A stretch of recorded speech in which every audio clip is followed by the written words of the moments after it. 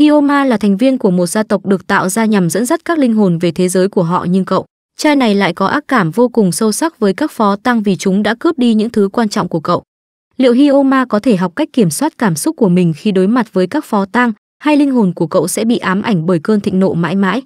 Hãy cùng mình theo dõi ngay nhé. Ông nội cũng bất lực về thằng cháu tính nóng như binh chi linh này, ông lại ngồi xuống bình tĩnh giải thích. Bạo lực chỉ là cách để dùng sau cùng vì nói ra thì các phó tang hung hăng hầu như chỉ muốn quay về thế giới của họ. Vậy nên nhiệm vụ của các tác nhân như hai ông cháu là phải lắng nghe câu chuyện và dẫn dắt họ chứ ai lại như Hioma mỗi lần gặp phó tang là y như rằng thượng cẳng chân hạ cẳng tay.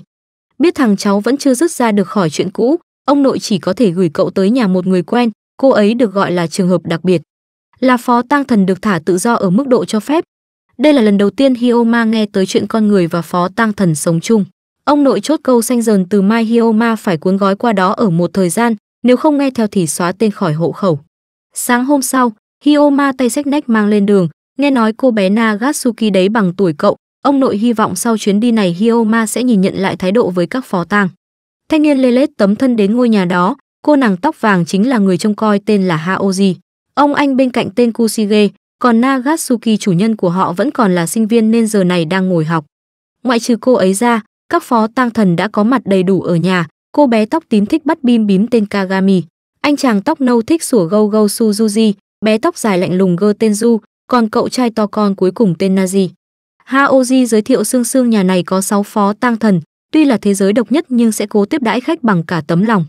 Hioma nói luôn mình chúa ghét phó tang thần, đơn giản chỉ vì họ không phải con người nhưng lại cốt bờ lay thành con người đi lừa gạt người khác. Suzuji lên tiếng vì cậu trai này nói thế mất quan điểm cả đám ra Nazi vốn đã có tính sân si nên chọc ngoáy vài câu, ấy thế mà Hioma lại chốt lạnh tanh mọi người ở đây đang có ý định lừa gạt Nagatsuki. Nói gì cũng được nhưng động đến tình cảm giữa họ và cô chủ thì bộ sáu sẵn sàng xù lông, Nazia cay con chim cú dơ nắm đấm thần sầu tới đòi solo cho biết mùi. Anh nổ một chút skill đặc biệt úm ba la kiếm đâu chui ra hạ quyết tâm sẽ khiến Hioma khóc ròng. Nói rồi anh trai phi tới mà hai thanh kiếm chưa gì đã bị Hioma làm cho cụt mất đầu. Cảm thấy thú vị nên Nazi lại lao tới, Hioma ngu đầu đứng im nên né sang một bên, tới khúc Hioma đánh trả còn ghê gớm hơn nữa liên hoàn cước cứ phải gọi là nổ ầm ầm. Du nhận ra cô chủ đã học xong tiết ba đang trên đường quay về mà mấy đứa có cản thế nào hai thanh niên cũng vẫn phang nhau rất hăng, thế nên cả đám phải nhào tới can hai cái con người này ra.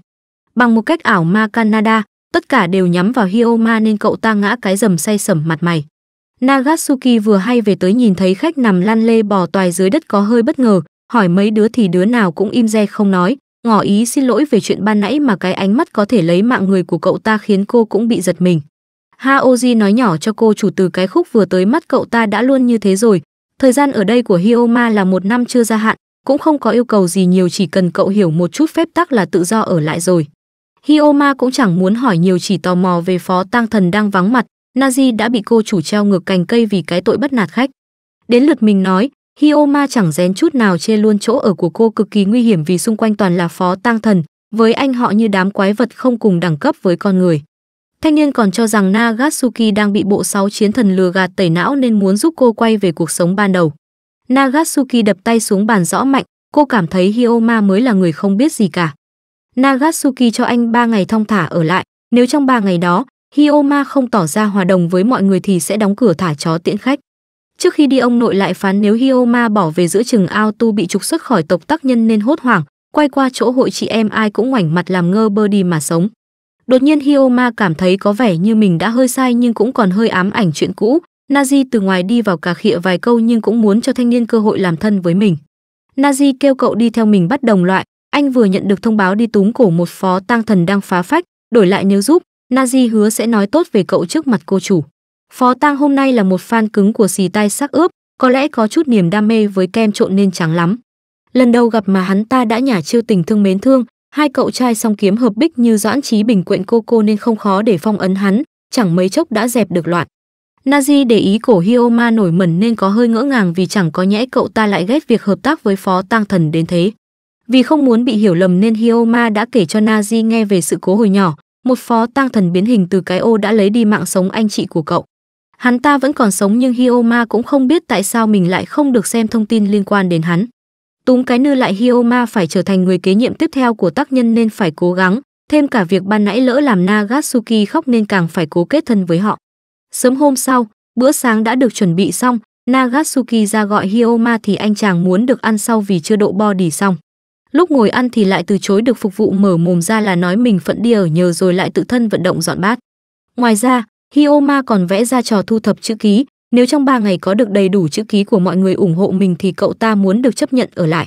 Hioma lúc này đã ra ngoài đi công chuyện với Suzuji và Kagami. Suzuji đang bắt chuyện với mọi người trên phố thì thanh niên từ đâu chui ra với cái giao diện muốn ăn tươi nuốt sống con nhà người ta. Cậu trai mỏng manh Suzuji chỉ muốn giao lưu kết bạn thoát ế, định rủ cả Hioma chơi trò hẹn hò đôi mà bị ăn mắng quá chừng. Kagami thì đang miên man về miếng bánh giòn tan và bát dưa góp nhưng chưa chắc đã giòn đâu vì nguyên đám mây đen phía sau. Hioma không hiểu vì sao phó tang thần lại cứ suốt ngày nói về ăn uống tiêu tiền, anh còn cho rằng hai đứa đang cố gắng bắt chước con người. Ừ thì là tại vì Nagatsuki muốn bọn họ thử những điều làm con người hạnh phúc thế mà giờ Hioma lại nói nó thừa thãi. Thanh niên nghe thế thấy mình cũng có hơi quá đáng nên thôi không nói nữa. Họ tới chỗ ra ghen để giúp cô ấy làm bài kiểm tra cuối cùng đối với phó tang thần, muốn trở thành trường hợp đặc biệt và lựa chọn con đường sống chung với con người thì phải thực hiện bài kiểm tra này. Vật chủ của cô nàng này là cối say thuốc nên khi biết Hyoma là tác nhân có hơi giật mình hoảng hốt vì sợ sẽ bị phong ấn. Sau khi Suzuji làm vài bài kiểm tra vấn đáp vì lý do muốn sống ở đây, Kagami đến làm điều cuối cùng. Kiểm tra nốt lai lịch gốc gác rồi thì xem thời gian qua cô có tạo nghiệp ở đâu không. Kagami úm bala kana xí muội, lát sau gương chiếu yêu hiện ra, tất cả mọi thứ của đối tượng, cô ấy đều thấy được hết, nói chung là không có gì đáng nghi nên Jagen đã qua bài test. Suzuji kêu hai người về trước còn mình đưa Jagen về nơi báo cáo, còn chưa nói hết câu cô ả đã tung chiêu sẹt một cái làm Suzuji máu me be bét. Hioma vội túm lấy Kagami về phía mình để bảo vệ cô khỏi đôi chân mài thuốc của cô ả, Jagen tấn công họ vì nghĩ mình bị lừa. Hioma là cay cú lắm nhào tới giao lưu chiêu thức vài đường với cô, lúc anh định phong ấn thì Jagen bật khóc. Cô nói rằng mình đã từng nghe nói về hội Nagatsuki là những kẻ đi săn đồng loại sợ nên mới ra tay. Suzuji khôi phục lại cơ thể sốc lại tinh thần cho Jagen vì lần này họ đến thật sự là chỉ để thực hiện bài kiểm tra, hiểu lầm được giải quyết nên vụ này tạm thời êm. Kagami cùng Hyoma đi về trước, cô cảm ơn anh vì ban nãy đã cứu mình và ngăn Jagen lại, tối hôm đó về nhà. Kagami đã nhảy hẳn lên người thanh niên trong lúc chống đẩy để cổ vũ, Naji thấy vui cũng muốn nhảy lên luôn. Hôm nay đã là ngày thứ ba, Hyoma dậy từ sớm vệ sinh răng miệng, vừa mới làm sạch bộ mặt tiền thì Nagatsuki đi vào. Cô cảm ơn anh vì hôm qua đã giúp Kagami, chị ấy vui lắm vì được bế như công chúa nên khoe suốt.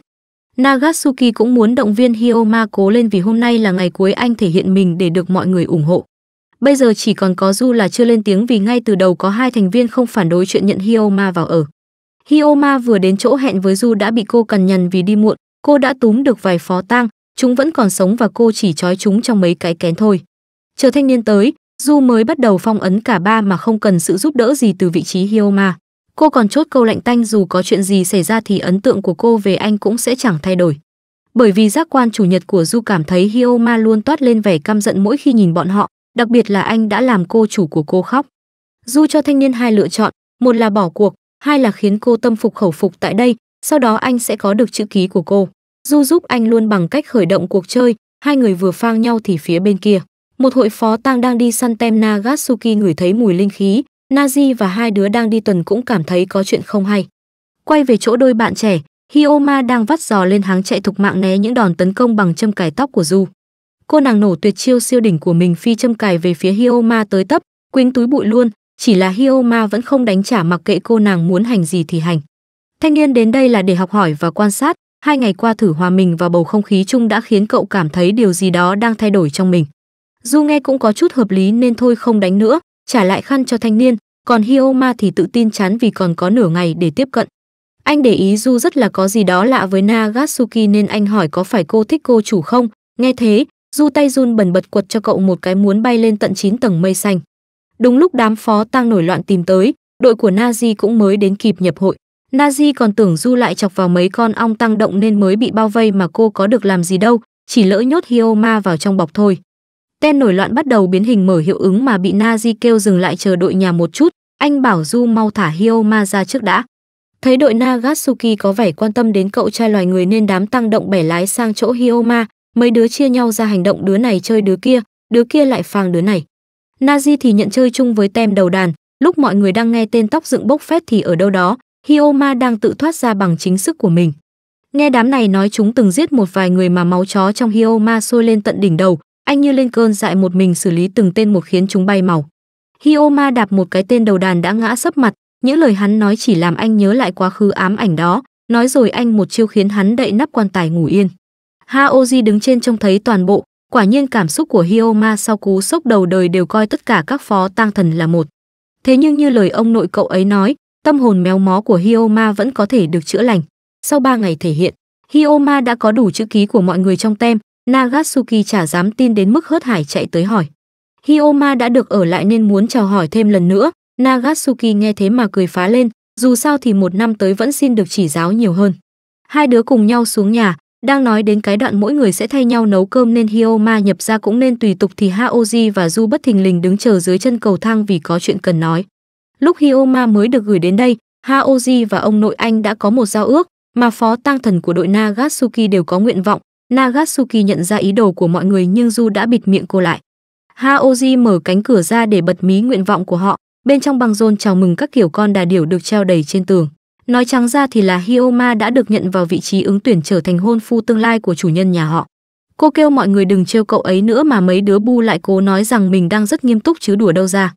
Việc tìm đối tượng hoàn hảo cho cô chủ đều được mọi người đồng ý ngoại từ Du ra, Hioma vẫn chưa hiểu lắm nên Haoji nói thêm. Từ đầu họ không phải là những món đồ riêng lẻ, mọi người được tập hợp lại thành một bộ dụng cụ của cô dâu khi bỏ nhà theo chồng được xã hội công nhận. Chữ ký mà Hioma có được có nghĩa là cậu đã được thông qua bài đánh giá. Vậy nên ai nấy đều muốn Hioma nghĩ về chuyện xem mắt, đương nhiên là lại ngoại trừ con nhỏ Du ra vì nó phản đối kịch liệt. Tất cả đều tò mò phản ứng của Hioma sẽ như thế nào, đa số là sợ sẽ bùng nổ chiến tranh nhất là khi thanh niên đứng nhắm mắt như thế. Hioma hít một hơi rồi đáp một đề nghị này hơi bất ngờ, dù sao anh cũng chưa đánh giá được mọi người ở đây. Nhưng nếu từ chối thì mặt mũi ông nội để vào đâu cho được nên thanh niên xin phép được hoãn lại quyết định của mình. Nói rồi thanh niên quay qua xin Nagatsuki cho mình ra ngoài chạy bộ sớm, nói chung là cậu ta tỏ ra khá là bình tĩnh và chỉnh chu. Còn Nagatsuki thì mặt nặng như cái đít voi vì nghĩ đến suốt một năm phải gặp nhau thì đủ mà ngại, dù là thế Nagatsuki cũng tự hiểu chuyện giữa hai người là không thể. Haoji biết thừa cô chủ nhà mình sẽ lại suy diễn linh tinh, chỉ là cũng không lường trước được Hioma lại chẳng có miếng lung lay nào, nhưng vẫn đỡ hơn là hoảng loạn dãy đành đạch. Từ khúc ấy, Nagatsuki luôn trong trạng thái căng não không biết nay về sau phải bắt chuyện như thế nào với Hioma khi anh mới. Làm khách được 2-3 ngày mà nhận được tin sốc ngang trở thành ứng cử viên sáng giá làm chồng tương lai của nhà chủ. Sau một hồi suy nghĩ nghiêm túc và hết sức khẩn trương, Nagatsuki chốt sẽ đi xin lỗi mà nhờ Hioma hãy coi như là không có chuyện gì xảy ra nhưng mà phải sau khi mua đồ về đã vì bây giờ còn hơi rén. Trong lúc đó nam chính đang gọi về cho ông, cậu đoán ý đồ của ông là đẩy mình vào một mối quan hệ căng đét đèn đẹt để rèn luyện tinh thần. Ông nội kiểu mày đừng có mà đoán sằng đoán bậy, tại ông thấy mày sống trên đời hai chục năm rồi mà chưa biết mùi gái là gì nên tạo cơ hội chứ lấy đâu ra bài tập rèn luyện tinh thần. Hioma ra ngoài tìm Haoji mà chẳng thấy cô nàng đâu, nghe tóc tím với tóc nâu nói cô ấy đã ra ngoài đi công tác, tối nay không về. Còn Nazi và Du vẫn đang chăm chỉ đi săn phó tang thần như mọi ngày thế mà không gọi Hyoma theo. Đúng lúc Nagatsuki chuẩn bị đi mua đồ đi ra, hai đứa tóc cháy nhất tem tự động rút lui nhường lại không gian cho đôi bạn trẻ. Căn phòng sặc mùi căng thẳng vì Nagatsuki dặn mãi mới nói được một câu kêu Hioma đừng để ý và xin lỗi vì hơi làm phiền. Ai mà dè Hioma lại đáp câu lạnh tanh nó đúng là một sự làm phiền lớn nhưng anh sẽ không để tâm dù là một chút ếch. Cô nàng nghe mà hụt hẫng ra mặt, cố xin lỗi thêm một câu rồi rời đi trước, hai đứa khúc này mới chui ra. Suzuji cảm thấy thanh niên này thể hiện sự từ chối thẳng thừng với như không quan tâm với một cô nàng tầm tuổi như thế là dễ làm mất lòng nhau lắm. Đến cả Kagami cũng còn đang khóc thay đòi phang sấp mặt anh cho vừa cái nư. Nagatsuki vừa đi vừa tự nhủ với lòng mình phải tin Hioma thật sự không để tâm đến chuyện đó, biết nó là chuyện tốt mà chả hiểu sao cô lại buồn ngang. Bất thình lình một phó tang cao to đen hôi xuất hiện chặn đường cô, hắn ta cho đám đàn em dụ hết người của Nagatsuki đi làm việc nên hắn mới dễ dàng có mặt ở đây. Ở khu này, đội nhà phó tang thần có một quy định bất thành văn đó là không được động đến Nagatsuki nhưng giờ tuyến phòng thủ của cô đi vắng nên hắn ta cóc sợ gì sất. 36 kế chuồn là thượng sách nhưng cái tên cao to trắng hôi này lại phả một cơn lốc cho ngăn cô lại. Trong lúc ngàn cân treo sợi lông chân, Hioma nhào tới như một vị thần chém cụt cánh tay của hắn ta. Nazi và Du cũng vừa đuổi tới, mặc kệ ba đấu một thắng có hơi hèn nhưng động đến cô chủ của hai đứa coi như hắn ta xui, bay màu trong phút mốt. Lúc nói chuyện riêng, trai tân Hioma nhà ta cũng thẳng hết sức thẳng, ai đời được hỏi vì sao lại đến đây thì đáp luôn vì bị Kagami ép đuổi theo cô. Thanh niên xin lỗi cô vì mấy lời ban nãy nói ở hành lang, càng xin lỗi nó lại càng dối như tơ vò vì anh không phải cố tình tỏ ra lạnh lùng hay là không quan tâm. Nagatsuki thấy anh dối nên bật cười, dù sao thì ít ra hiểu lầm giữa họ cũng được giải quyết rồi. Vì để đảm bảo độ an toàn cho Nagatsuki, Hioma đã chơi lớn vẽ bùa ra truyền ngoằn ngoèo uốn lượn định dán quanh nhà. Cũng may là Nazi ngăn lại vì ba cái thứ bùa này sẽ khiến cô chủ ớn lạnh, với lại ngôi nhà này đã được đóng kết giới nên khỏi lo về độ an toàn. Trong lúc đó, Haoji và Kusige đang đến gặp ông nội, họ đang đến gặp một đối tượng ghê gớm kinh khủng khiếp, hắn ta tên Kai. Đây là lần thứ hai mọi người gặp hắn, dựa vào kinh nghiệm đã gặp một lần, mọi người biết thừa thay lời chào hỏi sẽ là một màn combat nhiệt tình hơn nhiệt độ. Quên giới thiệu, cai cũng là một phó tăng thần khét tiếng trong giới, được gọi là tam đại phó tăng thần, đại cụ Túc Cai. Bên cạnh anh còn có cô bé Itsuki, anh ta ở yên trong này là có nguyên nhân cả, là vì bản thỏa thuận giữa anh ta và tác nhân. Nếu chịu ngồi ngoan ở đây thì anh ta có thể chọn bất cứ người nào và bất cứ lúc nào đến chơi với anh ta.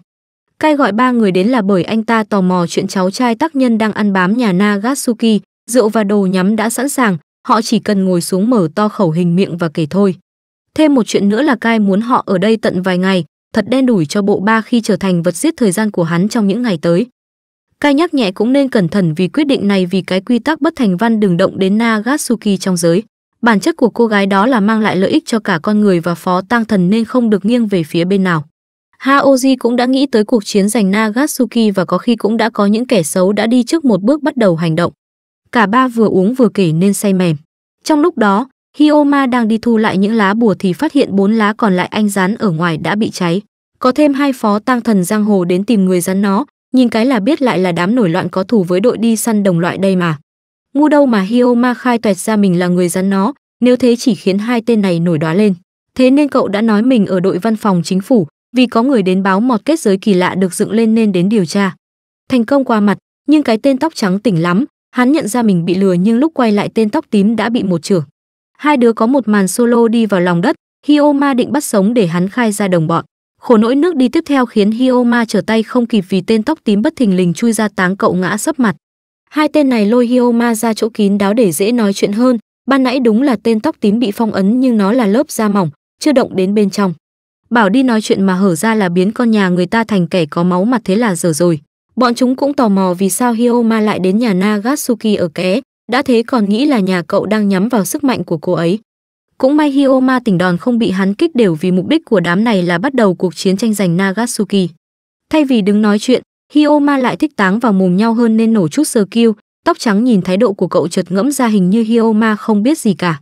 Đang hoang mang thì Du từ đâu đến giúp tóc trắng trả lời 10 vạn câu hỏi, Hioma đến là để học hỏi và quan sát với tư cách là người đứng đầu tiếp theo của nhà tác nhân. Du can hai bên ra để nhà ai nấy về. Du kêu Hioma về nhà trước vì giao diện của cậu đã tã lắm rồi. Trên đường về, Hioma cứ luôn nghĩ về sức mạnh của Nagatsuki và tên tóc trắng nói nãy giờ, có vẻ như vẫn còn điều gì đó về cô gái này mà cậu chưa biết đến. Haoji quay về trong bộ dạng không thể tã hơn được nữa, cô hỏi Kagami về những ngày mình đi vắng, ngoài chuyện Hioma gặp tóc trắng thì còn có một chuyện kỳ lạ. Đấy là từ lúc bị hỏi, Hioma cứ bám theo cô chủ đòi biết nhiều hơn về cô, còn đòi Nagatsuki hẹn hò với mình luôn mới máu. Câu trả lời của cô nàng là dứt khoát không một động tác thừa nửng cho anh chàng xem vỡ hết ruột thừa vì hạn nộp báo cáo của Nagatsuki là 4 giờ hôm nay nên lấy đâu tâm trạng hẹn hò. Không hỏi được Nagatsuki, thanh niên quay qua hỏi hai chị gái về sức mạnh và lý do người ta nhắm tới cô chủ của họ. Nhưng Haoji thích nói cho nghe theo cách đặc biệt nên hẹn Hyoma ra ngoài từ từ nói, cô cần chuẩn bị một chút nên kêu anh ra ngoài chờ. Đó là lý do vì sao Hyoma có lịch ra ngoài với Haoji, lúc nhận lời hết mình lúc ha oji đến nơi hết hồn vì cô nàng lên đồ sinh ngất ngây con gà tây. V phải đóng vai là bạn trai mà trai tân lần đầu có mùi gái nên bị ngợp không quen. Điều muốn nói ở đây chính là lén đi theo sau Nagatsuki, vì ở nhà đã có kết giới bảo vệ nhưng khi cô chủ ra ngoài thì nó sẽ khác. Chỉ cần hioma cố gắng tập trung thì sẽ rõ, thanh niên thử làm theo ấy thế mà nhìn ra được thật. Xung quanh toàn là sự góp mặt của phó tang thần, tất cả bọn chúng đều đang nhắm vào Nagatsuki. Cô nàng cũng biết được điều đó và đang cố gắng chấp nhận nó. Nagatsuki sau hai ngày thức đêm làm báo cáo bọng mắt thâm như rái chó cuối cùng cũng nộp báo cáo thành công. Haoji giải thích cho anh chàng nghe về các phó tang thần, cơ thể của Nagasaki cũng giống như họ, bây giờ thì vẫn chưa thức tỉnh nhưng chắc chắn sức mạnh đó có trong người cô ấy. Hioma nghe xong hạ quyết tâm sẽ bảo vệ cô gái ấy, nãy giờ Haoji biết Kagami lén đi theo bọn họ, tại vì lo lắng quá nên cô mới làm thế. Cô nàng quá là duyệt về lựa chọn vị hôn phu tương lai cho cô chủ đang ngồi trước mặt này, đang chọc thanh niên thì Nagatsuki đến trường quay về trông thấy, may là cô chưa nghe được gì. Thanh niên hỏi Kagami về bố mẹ ruột của Nagatsuki, họ cũng không biết hai người đó ở đâu vì lúc nhận chăm sóc, cô bé ở cùng ông. Sau khi ông cô mất cũng có vài người đến thăm vì lo lắng nhưng bàn tay chìa ra giúp đỡ lại không chạm được vào Nagatsuki. Trời cũng tối rồi nên mọi người cùng nhau quay về nhà. Hồi chiều mải lo chuyện nộp báo cáo nên Nagatsuki quên mất mình đã phang Hyoma một đòn nên vội vàng xin lỗi, thì tại cô không cố ý mà chỉ cố tình thôi. Cô còn hơi ngại vì anh đã nghe Haoji nói hết về mình, cứ nghĩ sẽ bị gì đó thì hú vía. Hyoma lại thấy khâm phục cô, phản ứng này của Hyoma là lần đầu cô thấy nên vui lắm.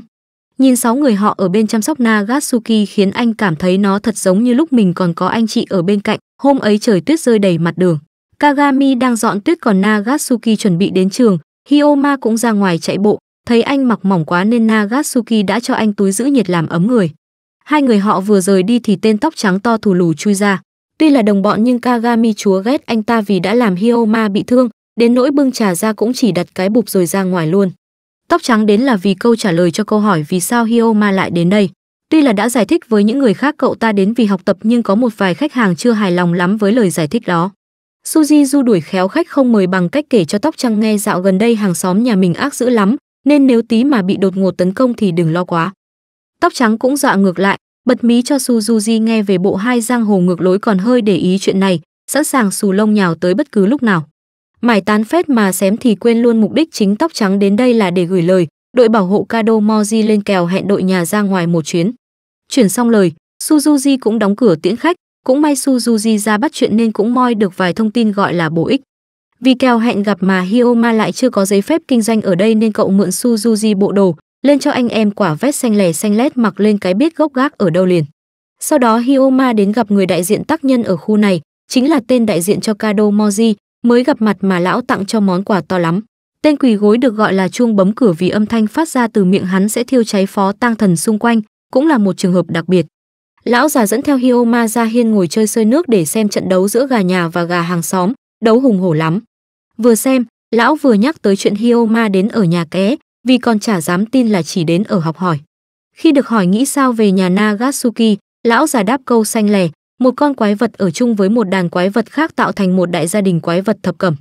Hắn cũng muốn biết sức mạnh hy nhân ngủ yên trong người Nagatsuki mà thức tỉnh thì chuyện gì sẽ xảy ra. Giang hồ từng đồn nếu thế thật thì cô ấy sẽ trở thành chúa tể của các phó tang thần. Nếu như họ có thể kéo cô về phe mình thì tốt, nhưng nếu không ai đảm bảo cho chuyện đó thì chỉ như mang bên mình quả bom nổ chậm. Vậy nên đa số ai cũng muốn loại bỏ Nagatsuki chỉ là không ai thực hiện được vì hội chiến thần đang bảo vệ cô ấy.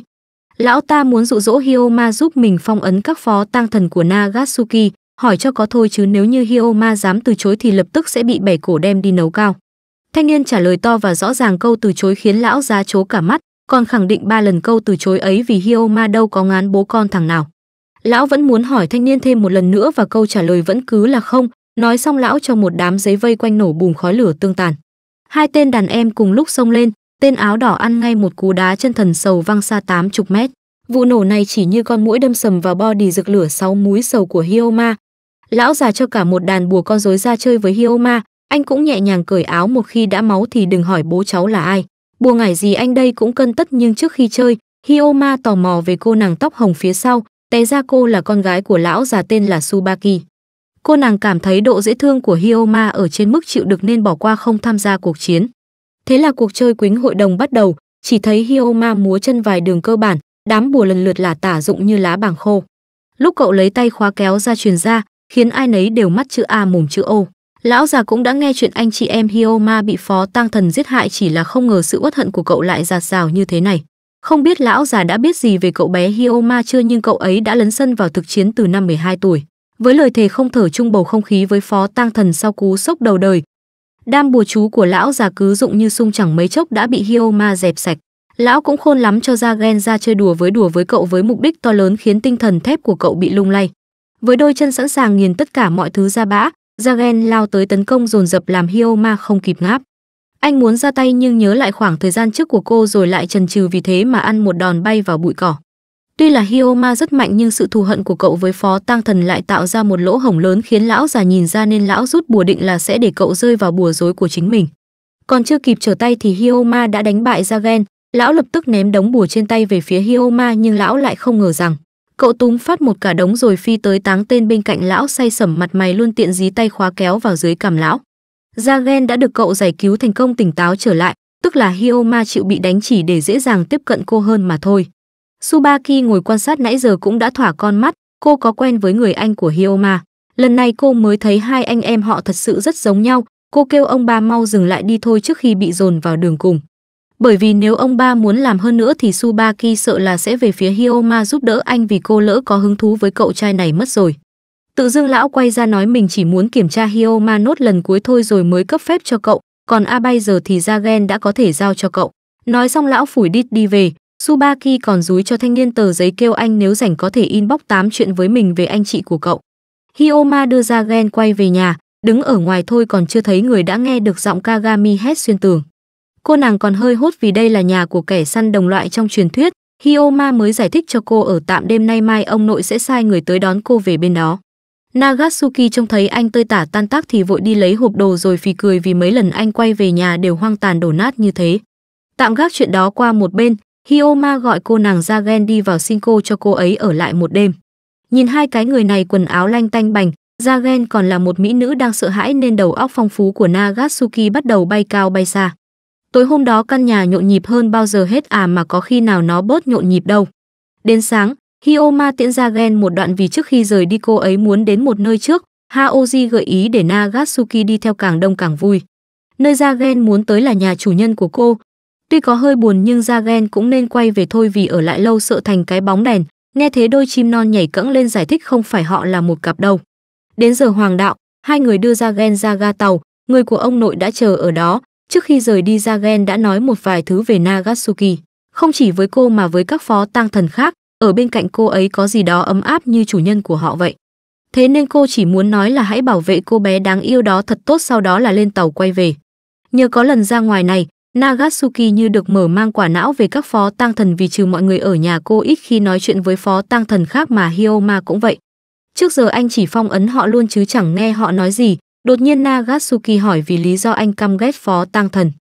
Hioma cũng không ngại kể cho cô nghe, năm 12 tuổi anh chị song sinh của mình bị một phó tăng thần lang thang trên đường mà họ đã cứu giúp. Hình ảnh hắn ta xiên hai người họ và nở nụ cười ngạo nghễ khiến Hioma không thể quên được. Ông nội muốn anh chuyển đến đây là để có cái nhìn khác về phó tăng thần và anh cũng cảm nhận được điều gì đó đã thay đổi trong suy nghĩ của mình. Tự dưng Hioma cũng cảm nhận được một vài ánh nhìn đang hướng về mình. Té ra là ở một nơi xa xa hội chị em bạn gì đang nhìn chằm chằm về phía họ. Nghe Nagatsuki nói hãy cứ gọi mình bằng tên vì bạn bè sẽ hay gọi như thế, Du còn tức giận hơn nữa, nếu không có mấy đứa túm lại thì sợ là lại sứt đầu mẻ chán mất. Hôm sau Hioma có chuyện ra ngoài, Nagatsuki dặn anh đi đứng cho cẩn thận chứ mấy ngày hôm nay, hôm nào anh cũng về nhà trong bộ dạng quần áo tơi tả mình mẩy sức sát. Hioma đáp lại, còn gọi thẳng tên cô xong, Hioma theo Du đi ra ngoài, Nagatsuki ở nhà có hơi lo lắng trời nắng vì hai cái người này đi cùng nhau không quẻ cũng vỡ mồm. Nhiệm vụ lần này là tới gặp đám phó tang thần được gọi là Tùng Nguyên Hỏa, nghe tên thôi là thấy cháy khét lẹt luôn rồi. Hai đứa đi đến chỗ hẹn ở ngoài công viên, còn chưa kịp cả thở, Subaki đã từ đâu như cơn lốc nhào tới nhảy hẳn lên người Hyoma vì cô nàng cũng sẽ chung đội làm nhiệm vụ. Du và Subaki có quen nhau từ trước, Subaki còn là ứng cử viên số 1 cho vị trí tác nhân ở khu này. Hôm nay chỉ có ba người thôi, còn hai tên tóc trắng tóc tím chỉ là người hướng dẫn nên từ chối tham gia chiến đấu. Tóc trắng dẫn họ tới trước một tòa nhà và nói đây là hang ổ của đối tượng. hioma quay qua khen tóc trắng làm việc quá là hiệu quả vì tìm ra được manh mối mà cái quả giao diện suýt thì dọa thằng nhỏ khóc thét. Tóc trắng định rời đi thì trên trời rơi xuống một phó tang thần chúng ngay đỉnh đầu, cánh cửa phía sau dần mở ra với con mắt vàng khè, bên trên còn một tên nữa tổng cộng là ba. Chúng là tàn dư cuối cùng của Tùng Nguyên Hỏa, bọn chúng nói lý do mình tấn công con người là vì bị tác nhân ngáng đường. Nghe câu nào là máu chó Hioma dồn lên tận não câu đấy, Bộ đôi tóc trắng tóc tím định bấm nút té mà Subaki nhanh tay hơn dán một lá bùa con rối lên tóc trắng để nhờ cậu trông coi một tên. Thanh niên bị ép nhào lên quật cho một đường định bấm nút té mà bị dây dựa của chị gái túm lại. Phía bên này hai tên còn lại cũng đã bắt đầu khai hỏa, tên tóc vàng chơi với Subaki còn tên mắt thâm chiến với hai người còn lại. Tóc trắng muốn nịnh vài câu cho bà chị bỏ qua mà đâu có được, bị chị ta khịa cho cay cú quá nên hắn nhập cuộc luôn. Hioma song kiếm hợp bích cùng Du Phang tên mắt thâm mà hắn ta có gì lạ lắm, sở hữu siêu năng lực tự chữa lành rồi quật cả hai đứa ngã bục mặt. Tên mắt thâm bắt đầu dùng những lưỡi cưa của mình ve vãn Hioma, quay ra mới thấy đồng đội mình bị Subaki xiên như xiên thịt nướng. ấy thế mà ngó về Hioma đã chui ra khỏi vòng vây, bà chị nói nhiều cũng đã bị bộ hai tóc chiến đậy nắp quan tài ngủ yên chỉ còn lại mỗi tên mắt thâm. Hắn ta nhất quyết không đầu hàng nên tiếp tục biến hình, còn chưa kịp bốc phét đã bị du cho một châm, tuy là né được nhưng tòa nhà phía sau đã bị cô cuộn tròn lại. Cô đá mắt nói Hioma bị thương rồi thì nên lùi lại. Hioma bên ngoài thì gật đầu đồng ý nhưng khi du lên thanh niên cũng lên. Chỉ là làm du hơi bất ngờ nên tòa nhà bị nhả ra lao về phía mắt thâm, mà Hioma cũng ở ngay phía sau cắt mắt thâm ra làm trục mảnh. May là có chút võ nên len lỏi luồn lách qua căn nhà mà không mất miếng da nào, chỉ là bị du mắng cho tơi tả. Ông ba Subaki đã xử lý xong tên mắt thâm, nhiệm vụ kết thúc, khúc này Hioma mới có thời gian hỏi Subaki về anh chị mình. Cô nàng cũng như anh, từ khi gặp họ là cảm thấy phấn khích, mỗi khi hai người đó đến cô đều thấy cực kỳ thích thú và rất vui. Cũng vì sự ra đi của hai người họ khiến cô quyết tâm tìm cho ra tên phó tang thần lang thang đó và hạ hắn bằng chính đôi tay của mình. Bây giờ có thêm Hioma cùng chung mục đích nên cô rủ thanh niên hợp tác với mình, dô gạ gẫm thanh niên chuyển qua chỗ mình ở. Du bắt đầu có hơi sợ hãi vì cô biết Subaki từ nhỏ đã mạnh kinh khủng khiếp như thế nào, được coi là đứa trẻ thiên tài. Dù là có chung mục tiêu nhưng mục đích của Subaki hoàn toàn khác với Hioma và nó chỉ nhằm thỏa mãn sự thích thú của cô mà thôi. Du cứ sợ Hioma sẽ đồng ý nhưng không, đúng là anh có chung mục tiêu với cô nhưng vẫn phải từ chối vì một vài lý do riêng. Lúc nhà ai nấy về, Hioma mới thỏ thẻ lời đề nghị đó quả thật hấp dẫn nhưng cậu từng thề trước mộ hai anh chị sẽ tự tay chấm dứt tấn thảm kịch do phó tang thần gây ra. Cậu sẽ tự tạo ra sức mạnh cho riêng mình. Việc tập luyện ở nhà Nagatsuki rất có ý nghĩa, quan trọng hơn là có cô ấy ở đó. Du nghe vừa thấy ngạc nhiên nhưng cũng hơi dỗi vì cậu đang thả thính cô chủ trước mặt mình. Về tới nhà, Nagatsuki trông thấy bộ dạng tươi tả hơn cả những lần trước của Hioma chỉ biết khóc thét. Chớp nhoáng cái Nagatsuki đã là sinh viên năm ba mà Hioma cũng đã đến ở ké được 3 tháng nên Haoji mở tiệc ăn lẩu, ai nấy đều vui vẻ háo hức ham hở hạo hực. Mọi người được phân công đứa mua này đứa chuẩn bị thứ kia, còn Nagatsuki và Hioma có nhiệm vụ tìm cái nồi siêu to mà Haoji cất ở đâu đó chả nhớ. Mục đích chính là để cô chủ Nagatsuki tiến thêm một bước cho tình cảm đôi lứa nó đi lên. Haoji ra ngoài mua thịt chẳng phải bon chen với đời vì có đôi tay siêu dài. Định quay về nhà thì nghĩ bụng lâu lâu mới có cơ hội cho hai đứa nó ở riêng nên cô lại tạt vào đâu đó làm ly trà rồi hãy về. Kagami có kính chiếu yêu nên mua cá tươi cứ phải gọi là không trượt phát nào, Suzuji thì đi mua hoa quả, vừa mua vừa nịnh nên được giảm nửa giá. Nazi có nhiệm vụ quan trọng hơn, đi mua thức uống lúa gạo lên men, nó quan trọng vì phải đấu một trận thì mới mua được nhưng là đấu tử lượng xem ai cao hơn. Quay lại chỗ đôi bạn trẻ, nói là để Nagatsuki triển khai kế hoạch tình ái mà nãy giờ toàn là cô nhát mỗi khi chạm mặt với Hioma. Với lại cũng chỉ có cô nghĩ còn Hioma lại rất chi là bình thường không nghĩ nhiều về chuyện tình yêu đôi lứa. Lúc Nagatsuki định đi lên tầng thì lỡ làm rơi kế hoạch tác chiến mà Haoji vẽ ra cho, đã thấy Hioma còn nhặt được làm Nagatsuki không biết phải giải thích như thế nào. Thanh niên này mồm thì nói mình không quan tâm nhưng thật ra thì má đã đỏ ửng không dám quay đầu lại. Nagatsuki được đà mò tới vì muốn xem mặt trai ngại sẽ như thế nào ai dè bị lực hấp dẫn của trái đất mạnh quá nên ngã nhào đè lên nhau. Rồi Sukana luôn tự dưng bốn mắt nhìn đắm đuối thì hai con mắt khác xen vào làm hỏng hết không khí lãng mạn. Cuối cùng thì cái nổi lại cho bác tổ trưởng tổ dân phố mượn, mọi người đi mua đồ cũng đã quay về. Nazi còn thành công mang được một chai rượu về, đồ ăn đã sẵn sàng lên mâm nhập cuộc không say không về có say cũng không có về. Nagatsuki uống hơi quá chén say mềm, đôi bạn trẻ đánh lẻ ra ngoài hít thở chút không khí. Hioma đột nhiên cảm thấy mọi người trong nhà thật là ẩm ý theo kiểu náo nhiệt thứ mà anh chưa từng biết đến trước đó. Sớm hôm sau, Hioma cùng Nagatsuki ra ngoài cháy phố để đi tìm hiệu quần áo vì tác nhân có trang phục để đối phó với phó tang thần. Hít một hơi dài bước vào đã nghe thấy giọng của con mẹ Subaki nháo nhào chạy tới phả một chàng giang đại hải nghe muốn rớt cái màng nhĩ ra ngoài. Nagatsuki không hiểu gì cả nên Hioma mới giới thiệu con mẹ tóc hồng kia cũng là một tác nhân ở khu vực này. Cô nàng mới kịp chào hỏi thì Subaki đã dùng ánh mắt dọa con bé xém rớt cục đàn ông ra ngoài, chốt thêm câu cuối cô là người yêu của Hioma nữa là chuẩn bài luôn. Trêu một chút khuấy động không khí rồi hai đứa theo Subaki lên lầu, Hioma hỏi bà chị về bài kiểm tra MF hỏi cũng như không. Vừa mở cánh cửa, nguyên giải vải trắng đã nhào ra túm lấy Nagatsuki, Hata vội đi ra giải thích vì khúc vải này có sự sống được dệt ra từ phó tăng thần máy kéo sợi. Đến cả Hata cũng có cảm giác quen thuộc với Nagatsuki nên nhận ra cô ngay, anh đưa mọi người vào thăm một vòng và nói rõ lại. Đây không phải quần áo được làm từ phó tăng thần mà là được trang bị những tính chất biến đổi của phó tăng thần. Đồ của Subaki đặt may đã xong, thêm một màn biến hình cứ phải gọi là vừa khít. Hioma lúc này đang mặt khó đăm đăm vì nghĩ phó tăng thần sẽ chạm vào da thịt khi thử chúng lên nên giang rộng đôi tay vỗ một cái, ở Hà Nội còn nghe tiếng bốp rõ to. Nhưng không phải muốn mặc được chúng là mặc mà còn phải khiến tấm vải hiểu ra mối quan hệ giữa họ rồi quấn quanh người cậu. Còn Hioma cũng thế, phải dùng sức mạnh để tấm vải chịu thiết lập mối quan hệ chủ tới. Không lòng vòng như Hải Phòng, Hioma kêu tấm vải cứ lao đến đấm mình làm Subaki cười không ngậm được mõm. Hioma thích thì miếng vải chiều, nó quấn thành quả đấm to hơn cả đầu trâu lao tới, đến lượt Hioma. Thanh niên vừa giơ nắm đấm vừa thuyết phục nghe thì cũng buồn cười đấy nhưng mà đằng ấy lại chịu mới hay. Chờ thêm một hồi Hioma đi ra với bộ trang phục mới, không nói còn không biết là nó mới á vì chả khác gì cả. Trên đường về nhà, Nagatsuki để ý anh chàng bên cạnh đang vui vẻ lắm, ban nãy trong lúc chờ anh thay đồ, Nagatsuki đã ở riêng với Subaki một lát. Cô ấy để ý đến chiếc kẹp tóc sao bắt đầu của Nagatsuki rồi lái sang chuyện cô sẽ không chịu thua vì đã lỡ mê độ dễ thương của Hioma. Đến chiều, Hioma theo Nagatsuki đến câu lạc bộ giúp treo mấy cái biển tên chuẩn bị cho lễ hội văn hóa. Đến lũ bạn cũng nhìn ra hai người rất giống một đôi mà cứ cãi chỉ là họ hàng. Đứng thêm sợ lại đỏ mặt nên cô kéo Hyoma ra ngoài đi dạo, trước kia hội chiến thần cũng đến đây quẩy hội một lần. Nagatsuki đang định nói chưa mình phải trực nên anh cứ về trước, lời mới ra được một nửa thì con bạn từ đâu chui ra kéo đi mất. Ở ngoài sân, Suzuji và Naji cũng đến, họ đang định đi về thì bóng dáng ai đó nhẹ nhàng vụt qua nơi đây, chính là Itsuki, nếu cô ả xuất hiện thì Kai cũng sẽ chui ra. Nói rồi, cô nàng nhắm thẳng vào Hyoma rồi một kết giới được mở ra tối đen thùi lùi, quả nhiên Kai cũng ngồi thù lù một đống phía sau. Đã bất thình lình tấn công con nhà người ta còn dám bo body Samsung nhau, Hyoma là nhịn mày lâu lắm rồi đấy.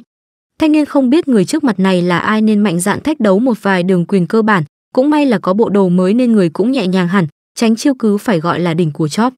Hyoma lại lao tới tấn công dồn dập mà bị cai ngã dập mông Udit, đến khúc này Hyoma đã đoán ra được in tư của hắn chính là một trong tam đại phó tăng thần cai. Bên ngoài, Naji cùng Suzuji đã chạy lên đến chỗ con bé tóc vàng, trong lúc Kai đang vờn Hyoma trong kết giới mình tạo ra. Nếu hai người muốn chiến thì Itsuki chơi khô máu với họ luôn, bằng một cách ảo nhạc nào đó. Kai biết được lời thề trả thù của Hyoma, hắn còn biết tên của phó tang thần đấy là Kazakasa. Động đến mối thù truyền kiếp của cậu cũng giống như bật chế độ máu chó của Hyoma lên, cậu lại tiếp tục liên hoàn cước nhào đến mà lần này cũng không si nhê gì. Khúc gai cấn, nazi và Suzuji chui vào trong kết giới giải cứu thanh niên, Itsuki thì đang bị Suzuji kẹp nách. Cô nàng xin lỗi Kai nhưng đã hết giờ chơi, nói rồi búng tay một cái, Kai lập tức bị trói lại. Thật ra là Kai đến đây chỉ muốn chào hỏi Hyoma nên được cho phép tới đây, cuộc chiến ban nãy là do cái nết Kai thích làm quá chứ không có gì hết.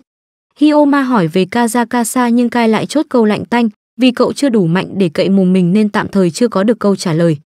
Kai đã từng gặp anh chị của cậu, so với Hyoma bây giờ thì cậu còn non và xanh lắm. Vì một lý do nào đấy cậu không dùng đến vũ khí của mình mà lại dùng kỷ vật của hai người họ nên Kai thấy nó thật tẻ nhạt.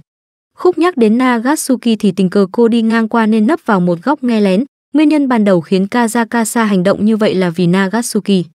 Kai biết cô gái ấy không cần con người đi theo bảo vệ vì cô ấy không hề tin vào con người. Nói đến đây Nazi xù lông chỉ muốn vặt lưỡi hắn ta ra. Itsuki trói ông Kai lại, thay mặt hắn xin lỗi vì mấy lời vừa rồi vì Kai sẽ lại bị cấm túc một thời gian, sau đó là bấm nút quay về. Vì những lời ban nãy của Kai nên Hyoma bị ảnh hưởng một chút, cậu đã xin nghỉ phép rồi rời đi một mình, nói nghỉ là nghỉ liền một phát bốn ngày không thấy về nhà. Ai nấy đều ghét Kai vì ăn nói xà lơ khiến cả Hyoma và Nagatsuki trầm cảm, cũng vì bị lời nói của Kai tác động nên Nagatsuki đã đánh liều tìm đến ông ba của. Subaki xin được giúp đỡ vì cô muốn biết vụ của Kazakasa có đúng là từ mình mà ra. Cũng vì đến đây nên cô mới biết mấy ngày nay Hioma ở đây tập luyện. Ông ba cũng nhắm đuổi Hioma về thôi chứ bài tập vừa rồi mà cậu trải qua đã là bài luyện cuối cùng của họ rồi nên là đi về thôi chứ cắm cọc ở đây ông đau đầu quá. Bị đuổi thẳng thừng như thế nên Hioma chỉ có thể theo Nagatsuki đi về, cô cũng nói cho anh nghe về lý do mình đến đó. Hioma đã nghĩ kỹ rồi, anh không tin lời cai nói cho lắm mà chỉ đinh ninh trong đầu làm mình chưa đủ cháy để đánh bại Kazakasa. Nagatsuki còn muốn giải thích với mình không tin vào con người, cô đã từng bị bắt cóc năm 7 tuổi, có hai người họ hàng đến và nói muốn nhận nuôi cô. Một người là bà con xa nhìn hiền lành lắm, còn người kia là em gái của bố trông cái mặt chẳng thể ưa nổi. Tuy là đã hết 3 năm ở yên trong nhà nhưng vẫn còn nhiều người nhắm tới hy nhân trú ngụ trong người cô nên cô cũng có chút cảnh giác. Chỉ là lâu rồi mới gặp lại họ hàng ruột thịt, Nagatsuki bỗng chốc cũng muốn được nuông chiều nên đã tin vào sự tốt bụng ấy. Chính cô ấy đã cứu Nagatsuki, trong lúc ông chú xuống xe nghe điện thoại, cô đã phóng con xe rời đi. Khi mọi người đi tìm tung tích của mình, Satsuki đã đưa cô về sống cùng trải qua những ngày tháng tạm gọi là yên bình, cơm ngày ba nữa tối ngủ ngon. Cho đến một ngày, vì đưa mình đi trốn mà ông chú đã tông con xe khiến Satsuki bỏ mạng, Nagatsuki bị mất ký ức từ khúc ấy, khi tỉnh lại thì mọi thứ đã kết thúc. Kể từ đó cô luôn cảm thấy sợ hãi khi tin vào con người mặc dù được mọi người quan tâm, chăm sóc. Hyoma dặn hết can đảm ngỏ lời nói Nagatsuki hãy thử tin tưởng mình, chuyện đó có hơi khó với cô nhưng thanh niên chắc cú lắm, mắt rất chi là quyết tâm bảo vệ cô. Nhưng mà nụ cười của thanh niên lại khiến Nagatsuki bị rung rinh dục dịch. Haoji ở một góc nào đấy cố tình nghe lén cũng thấy nhẹ nhõm hơn vì nó là tín hiệu tốt khi cô chủ nhỏ của mình chịu kể chuyện quá khứ với Hyoma. Cuối phim đôi bạn trẻ cùng nhau đi về dưới hàng hoa anh đào dụng muốn hắt xì tắc cái đường ống dẫn thở. Bộ phim đến đây là hết mất tiêu rồi, đừng quên like chiếc video này cũng như đăng ký kênh nếu như đây là lần đầu tiên nhìn thấy chúng mình trên YouTube nhé.